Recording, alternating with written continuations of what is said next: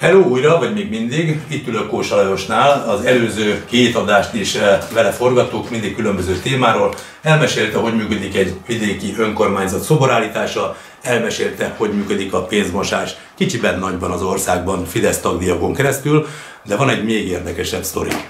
Ez itt nem mindenkinek adatik meg, csak jó páraknak, ez az úgynevezett Kubatov lista nyomtatott változata. Tehát az aktivitás az azt jelenti, hogy az adott illető jellemzően mennyire áll ki a Fidesz mellett, illetve mennyire hajlandó különböző munkákat elvégezni, kampánytevékenységbe részt venni, adott esetben mondjuk egy tüntetésre elmenni, vagy, vagy egy csomagosztásba részt venni, tehát mennyire aktívan segíti a Fidesz munkáját. Ami még kiderül, az a segítőkészség, ez pedig ugye azt jelenti, hogy adott esetben, hogyha a párt valami segítséget kér valamilyen akcióban, valami akció folytán, akkor mennyire lehet bevonni az adott illetőt ebbe a munkába. Ebből kiderül, hogy Fidesz szavazó valaki, vagy nem?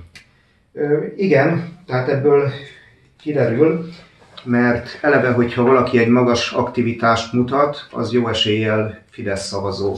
De hogy konkrétan a párt preferencia vezetve van ezen?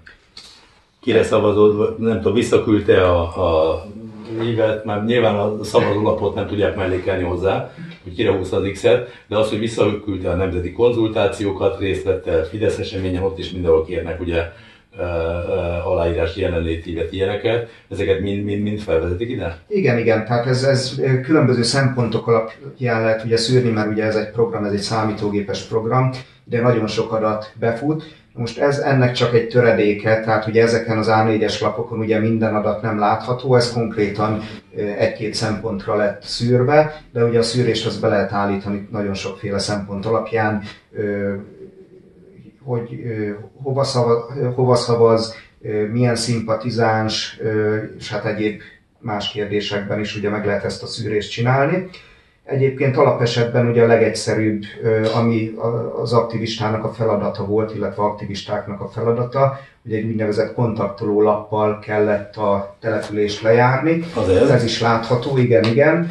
Aha. És itt különböző kérdéseket kellett föltenni a ö, lakosoknak, elmennek-e szavazni, hogyha elmennek, kire szavaznak, hányan mennek el a családból szavazni, szükségük van-e esetleg mozgóurnára a szavazás során, szükségük van-e valamilyen segítségre, anyagi támogatásra, élelmiszercsomagra, adott esetben valami hivatalos ügy elintézésében kérnek-e segítséget, gyógyszertámogatást kérnek-e, és akkor az aktivisták ugye ezeket a kérdéseket föltették, ez a kontaktlapon ugye szerepelt, bement a számítógépes rendszerbe, és például egy ilyen adott esetben egy ilyen évvégi extra gyógyszer támogatásnál ugye nagyon könnyen ki lehetett listázni azt, hogy ki az, akinek esetleg ilyen jellegű segítségre van szüksége, illetve szembe lehetett állítani azzal, hogy Fidesz szavazó vagy nem Fidesz szavazó, és rögtön ö, ö,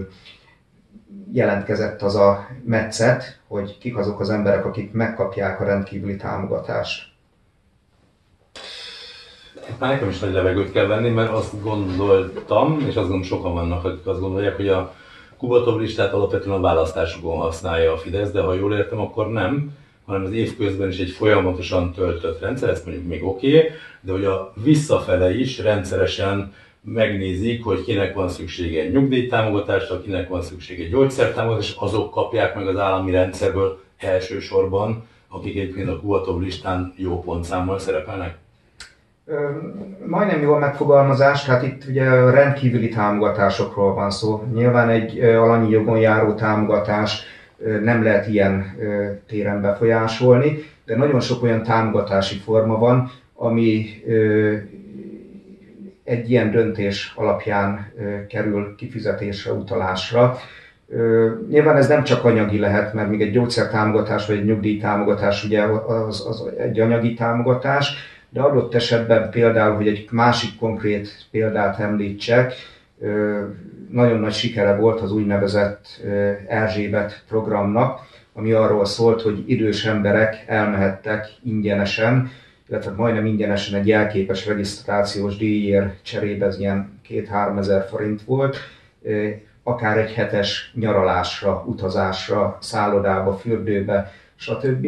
Tehát itt a kiválasztás, illetve a döntési mechanizmusnál is nagyon sokat segített ez a lista, hogy ki kapjon ilyen lehetőséget, és ki ne kapjon ilyen lehetőséget. Tehát akkor úgy fogalmazunk, hogy bizonyos embereknek nagyon sokat segített, Így van, bizonyos, bizonyos embereknek meg nem annyira sokat segített. Bizonyos embereknek meg nem annyira segített, mert bizonyos, nem... bizonyos embereket fordítjuk, ugye a Fidesz szavazóknak sokat segített, a nem Fidesz szavazóknak meg kifejezetten hátrányt jelentett, hogy rajta vannak ezen a listán, és ezért nem kapták meg az Erzsébet, nem tudom mi az Erzsébet nyaralást. Így van, igen, igen. Aki még nyertese lehetett esetleg ennek a dolognak, azok a bizonytalan szavazók, hiszen azért a bizonytalan szavazók egy bizonyos százaléka Káról, akiről úgy ítélték meg, hogy a Fidesz irányába mozdítható, őket azért elvitték egy-egy ilyen utazásra, vagy kaptak egy kis támogatást, de nyilván számítva arra, hogy a szavazatukat majd a Fideszre adják le. Szerintem sokakban felmerül a kérdés, eh, hogy ezt egy vidéki polgármester honnan tudja, hogy erről kaptatok egy képzést, vagy így kiterítik a lapot, amikor belép valaki a Fideszbe, hogy figyeljétek, itt van egy lista, 20 éve vezetjük mindenkinek minden adatát, ez szerint szűrjük a gyógyszertámogatást, a nem tudom, utazásokat, mindent, ezt te honnan tudhatod? Hát mivel ugye aktív Fidesz tag voltam én is, illetve én a helyi szervezetnek, helyi Fidesz szervezetnek voltam az elnöke, így nagyon sok képzésen kellett részt venni, illetve hát egy-egy ilyen akció előtt elmondták a tudnivalókat, hogy mi miért van és, és mi az adott feladat. Tehát ezeket, amiket itt elmondtál, ezt tulajdonképpen most csak visszamondtad azt, amit egy ilyen képzésen elmondtak, amikor mondjuk neki indítottak, hogy a Kubatov listát használva látogassátok le a Fidesz tagokat, és eh, nem tudom, mondjuk az Erzsébet táboroztatásra gyűjtötök adatokat, akkor elmondták, hogy ennek ez a célja így zajlik, így megy. Így van, erről van szó, tehát ezek általában jellemzően ilyen két-három napos meetingek voltak, tehát egy ilyen hosszú hétvége volt, és ezen mentek a képzések. Nyilván egy ilyen képzést úgy kell elképzelni, hogy megérkezünk a, az adott helyre, rögtön a bejáratnál elveszik a telefonjainkat, minimálisra csökkentve ugye a, annak az esélyét, hogy információ szivároghasson ki. Megtörténik a, a képzés, elmondják a, a tudnivalókat, megkapjuk az utasításokat, és akkor utána a kiáratnál pedig mindenki visszakapja a telefonját. Két-három napig nincs nálad a telefonod, vagy ez mindig a amikor bemész az előadásra, elveszik, megint visszakapja, mindenki ráírja szépen a nevét, mint az Ovidban, hogy nem tudom, Kósa Lalika vagyok, a Rákóczi falváról jöttem, és akkor visszakapja a telefon, ez hogy, hogy képzeljük el, mert ez azért egy ilyen, hát inkább egy, hogy mondjam, mafia családot látok így magam előtt megjelenni, mint egy pártaggyűlés, pedig én voltam pártnak elnöke, nálunk nem így ment. Ezért érdekes külön, hogy ez, ezt, hogy, hogy kell a valóságában, hát ott azért nem két ember van, meg nem három, ezt úgy kell elképzelni, hogy számozott, sorszámozott borítékok vannak, illetve vannak zsetonok, amin rajta vannak a sorszámok, lezárják egy sorszámozott borítékba a telefont, és ezt a zsetont megkapjuk, vagy megkaptuk, és ez alapján utána beazonosítható, hogy melyik boríték és akkor ugye a kiáratnál visszakapta mindenki a borítékban a telefonját. Természetesen csak az előadások idejére vették el a telefont, amikor már az úgynevezett szabad foglalkozás volt, hogy nyilván ezek azért egy ilyen csapatépítő tréninggel, illetve egy wellnessezéssel, meg különböző kulturális programokkal is össze voltak kötve. Nappal ugye lementek a, a fejtágítók, és akkor amikor ezeknek vége lett, visszakapta mindenki a telefonját, és nyilván már a szabad programokon mindenki a telefonjával részt vehetett. Tehát ez a Fidesz ruhatár működése igazából, nem? Tehát beakasztod a kabátod, a telefon, és megkapod a zsetont, aztán kiveszed a ruhatárból a telefonodat kb. így. Igen, így is lehet mondani. Ja.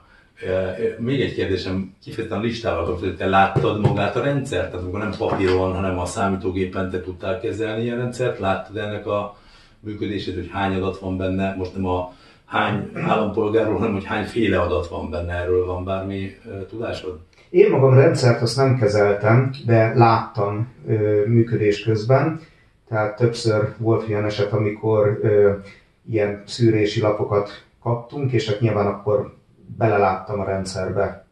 mik alapján lehet szűrni, vagy milyen adatok vannak fönt? Tehát ezt már mondtad, hogy a, a támogatás, de hogy miket képzeljünk, hogy mikre lehet rámenni? Vagy hogy milyen típusú feljegyzések születnek? Vagy milyen eseményeknél születnek feljegyzések? A, mondok más.